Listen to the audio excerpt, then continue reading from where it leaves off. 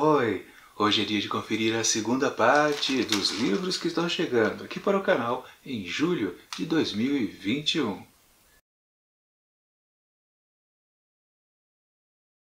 Bom pessoal, acho que todo mundo concorda que hoje em dia a forma mais fácil de se comprar um livro é através da internet. Eu, por exemplo, uso muito a Amazon, já comprei muito também na Saraiva e antes na Submarino. Foi minhas três lojas principais de compras é, virtuais.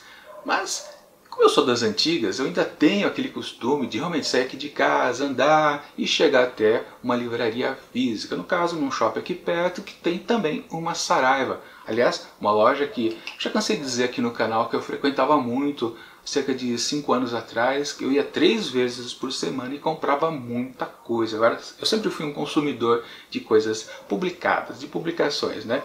E mas é, na Saraiva hoje em dia não tem condição de comprar nada porque é muito caro. Só que é curioso que nesse mesmo shopping que eu vou, de vez em quando aparece aqueles quiosques temporários que ficam um mês, um mês e meio, dois meses, de pequenas livrarias. Só que tem um problema esse tipo de loja temporária.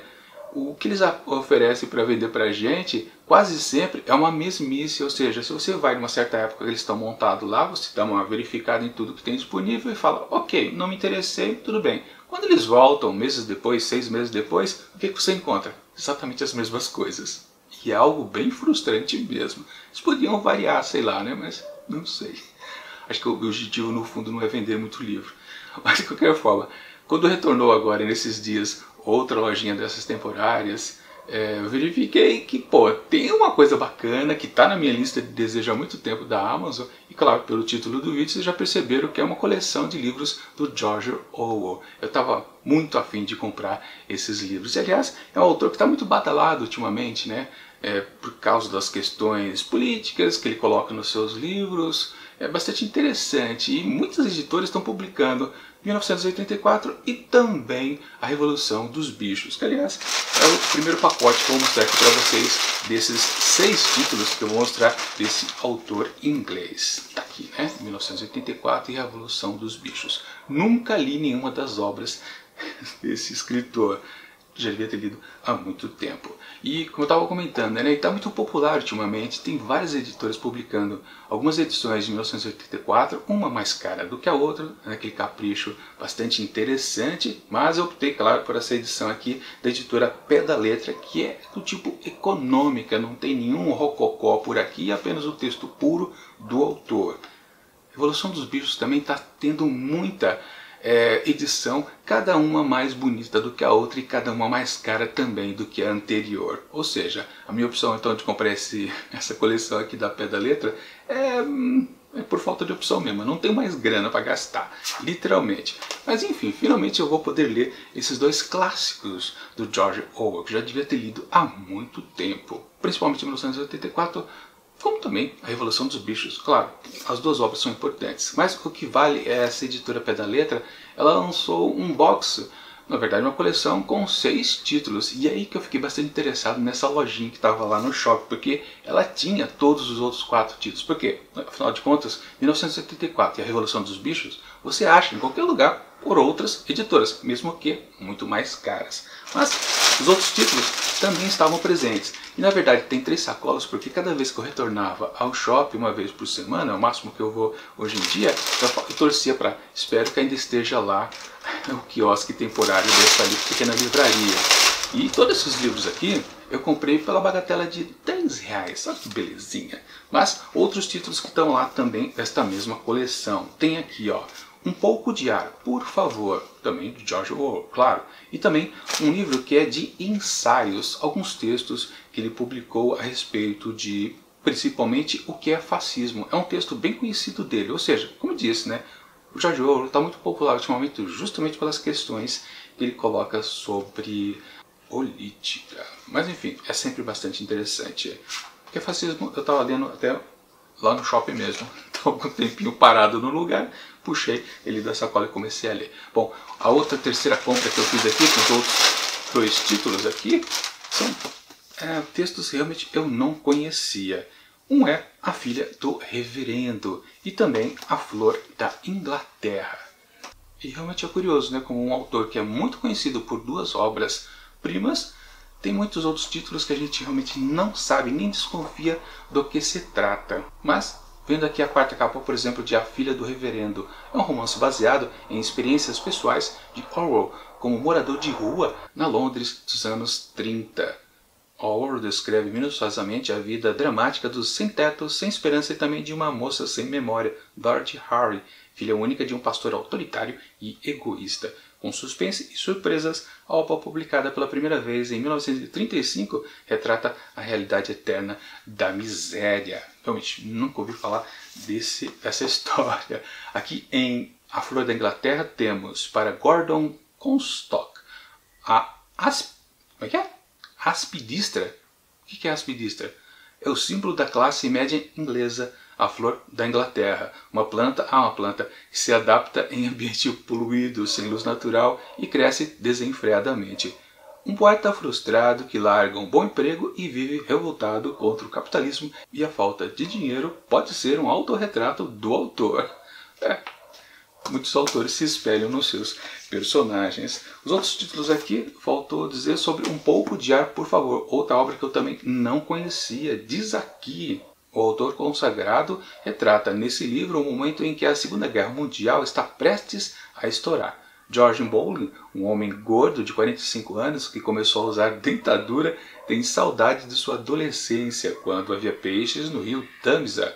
George compara essa época com os dias da sua maturidade e decide revisitar o local onde foi feliz. Para isso, usa um dinheiro que guardara secretamente e monta um plano para que sua mulher Hilda não saiba de nada. Na verdade, é uma história bem curiosa, pelo jeito, né? Mas, nossa, aqui as letrinhas são pequeníssimas, caramba! Muito pequenas. E é um livro que também está curto de página, apenas 173 páginas. 173 páginas. Mas com o tamanho de letra que tem por aqui, dá para multiplicar isso aqui por 2,5, com certeza. Vai dar mais de 300 páginas esse livro. Coisa curiosa. Mas enfim, a ideia aqui realmente é adquirir todos os livros aqui do George Orwell e conhecer principalmente, aliás eu estou mais curioso para conhecer esses outros títulos que eu nunca ouvi falar dele do que exatamente os dois classicões, que são Revolução dos Bichos e também 1984. De qualquer forma, eu considero essa compra aqui muito interessante, principalmente porque eu paguei baratinho. Eu já falei que eu paguei 10 reais em cada um desses títulos aqui, acho que não, né? Aliás, depois que eu voltei lá por três dias, em três semanas, é, seguintes lá na lojinha. É, depois, quando eu fiz a última compra, justamente, que foi do 1984, Revolução dos Bichos, só para garantir, é, eu olhei ali no balcão e vi que tinha o box da editora. Eu falei, não é possível, só falta o box com todos os seis livros aqui presentes lá dentro do box, lacradinho, tudo, é, é ser mais barato do que os 60 reais, né? porque no final de contas a coleção ficou 60, 10 cada um, mas não, era o mesmo preço. Pelo menos não fiquei com raiva de, de ter percebido só no final das compras que tinha o box. Mas o box, interessante. Ah, dessa edição aqui, são simples as edições, né? Mas ela tem um grafismo bastante interessante. Eu não sei se vai ficar em foco aí as capas, mas eu vou passar uma por uma aqui para vocês. Mas outra. E também mais outra. Quase terminando aqui. E por fim, esta daqui. Que eu nem conferi qual eram os títulos de cada uma delas, né? Mas eu gosto da, do traço aqui de todas elas. Aliás, essa aqui, um pouco de ar, por favor, que tem o cidadão sendo fisgado por um anzol, é sensacional. Uma boa sacada dessas capas. As outras também são bastante interessantes como por exemplo esse do ensaio que fala do que é o fascismo, temos uma bela de uma bota pisando num cidadão aqui. Bacana, flor da Inglaterra, uma flor. A filha do reverendo, exatamente uma Montessori, Revolução dos Bichos. Os Bichos, em 1984, sim, o grande irmão com seus olhos gigantescos. Agora fica a pergunta para vocês, vocês gostam de tentar ir atrás de toda uma coleção de um mesmo autor, assim, numa tacada só? Bom, claro, tem os box, né? aqui mesmo no canal, né? É, eu já comprei de Machado de Assis, todos os, romances, os nove. Aliás, eu fiz uma, série aqui de leitura comentada de todos os nove romances escritos por Machado de Assis. Vou lembrar e deixar aqui em cima para você dar uma conferida que eu falei a respeito do, da minha aventura de ler todas essas histórias, grandes romances do Machado de Assis. E tem outros autores aqui que eu tenho também aqueles boxes que tem, geralmente, às vezes quase sempre, né? Tem a coleção completa. Eu tenho aqui do João Guimarães Rosa, tenho também do Nelson Rodrigues, entre outros. E sim, às vezes é interessante você pegar um autor. Ah, também tem o Clarice Lispector com todos os seus contos. Muito bacana. Ou seja, na verdade é interessante às vezes você ir atrás de um certo autor, de uma tacada só, você já compra quase tudo que ele publicou e vai lendo uma coisa atrás da outra, não deixando espaçadamente. Claro, no fundo, no fundo, você logo que vê a primeira das obras, você já tem que gostar do estilo do autor para poder se envolver com os outros e não ficar com aquela sensação também de dinheiro desperdiçado, né? Tipo, já pensou, você lê um livro do cidadão, não gosta e você fala, caramba, ainda tem mais cinco para ler e eu não gostei deste primeiro que é o mais famoso. Espero que não aconteça com o George Orwell, principalmente nessas obras ó, que eu nunca ouvi falar que ele havia escrito.